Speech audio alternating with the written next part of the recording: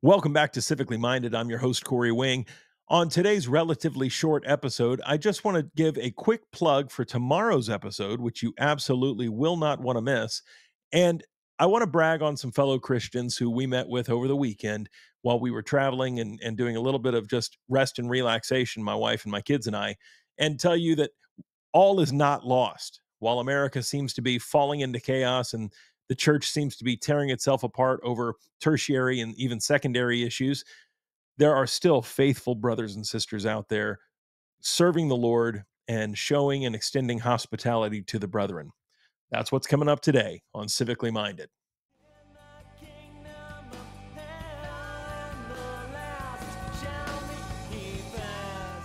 Well, welcome back. And as advertised, I want to give a quick plug for tomorrow's episode you will not want to miss. Tomorrow on Civically Minded, I will be hosting via Zoom Pastor Sam Wood. He and his wife Debbie have run Family Fortress Ministries for over 20 years. They're wonderful people of God. They live in the Kentucky area now and serve as a parachurch organization to help give family counseling, marital guidance, and Debbie has recently written a book on how mothers and daughters can talk Christianly and biblically about human sexuality. My wife and our oldest daughter are currently going through it together, and it's been a wonderful blessing to them. So, tomorrow we'll be hosting Pastor Sam Wood and maybe his lovely wife as well. We'll talk a little bit about their ministry, what they've done in the past, what they're currently doing, how you can find them, and the topic, most especially, of Christian depression. I was uh, speaking with Sam recently, and he said that that is a topic that keeps coming up in their biblical counseling sessions. That they are finding more and more Christians suffering from depression.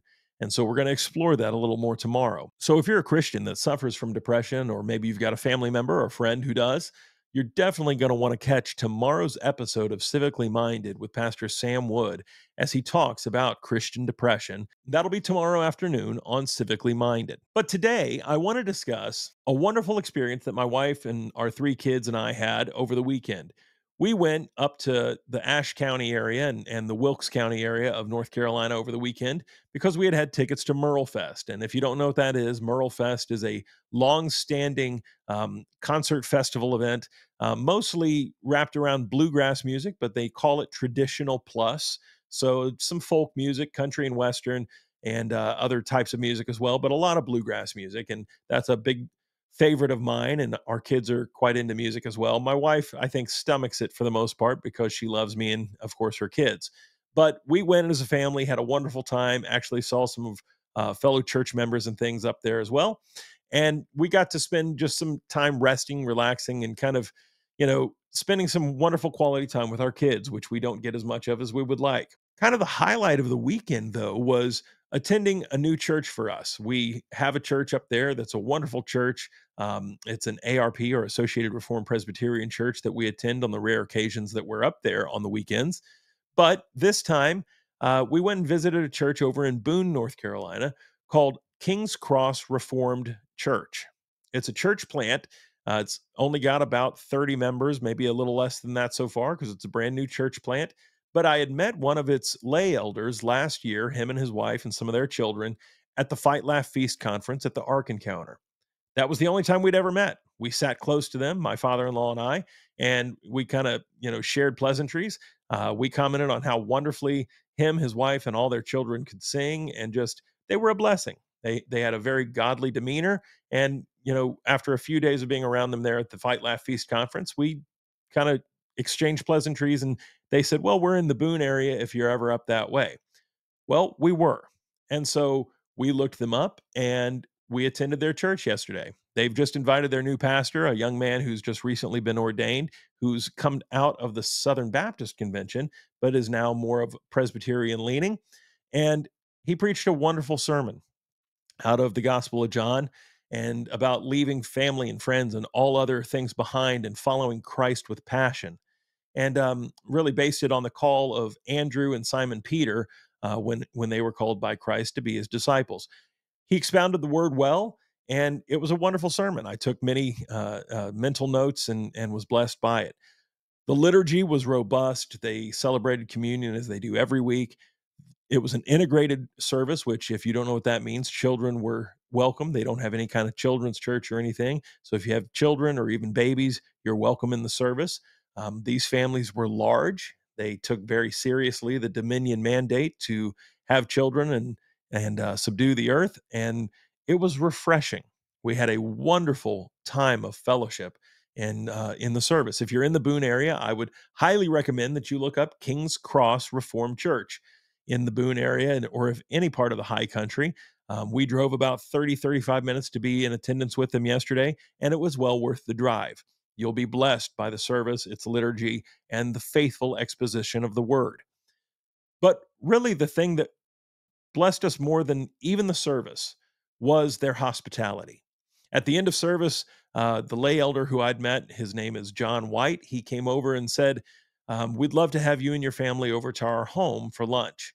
We do it every week. It's, um, you know, just just kind of a lunch with the, the families of the church. So he invited my wife, our three kids, and myself to his personal home. And again, he'd never met my wife or kids. He'd only met me and my father in law one time about six months ago. But the Bible does have lots to say about being hospitable and extending hospitality to the brethren. Well, I can say for Mr. White and his family, they did that and they did it in spades.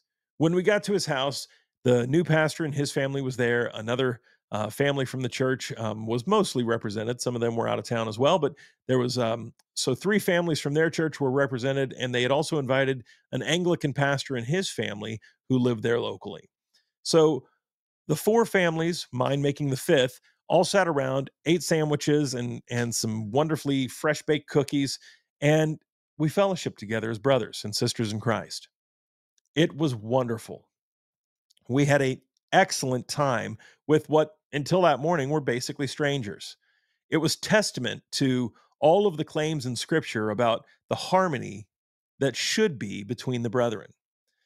I've recently been teaching and preaching through First John at our own church, and there's so much said in First John about knowing the brethren by their love. That's what I preached on just about a Sunday ago. Of course, I was out of town this Sunday, so it was on the 21st.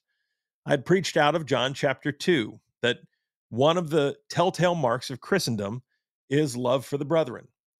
And what I saw yesterday in Boone, North Carolina at King's Cross Reformed Church was a robust love for the brethren. And that is born out of their even more faithful love for Christ. So if you're ever in the high country, certainly in the Boone area, please go visit those faithful brothers and sisters at King's Cross and tell them that Corey with Civically Minded and his family told you about it. And that our experience was you won't find a more faithful, a more warm, or a more hospitable people anywhere in the high country. I just wanted to brag on them today because really it's bragging on Christ and the difference he's made in those folks' lives. So if you see this, Mr. White or any of his family, God bless you. You made such an impression on me and my wife. My wife, on our way home, was formulating ways that we could start being more hospitable to guests and folks that come and visit our own church. So know that your hospitality spoke well of you, even more so, spoke well of Christ in you. And it is going to make a difference at Shearer Church here in Mooresville. So thank you so much for your faithfulness. And again, don't forget to tune in tomorrow for my wonderful interview with Pastor Sam Wood. God bless you, and I'll talk to you again real soon on Civically Minded.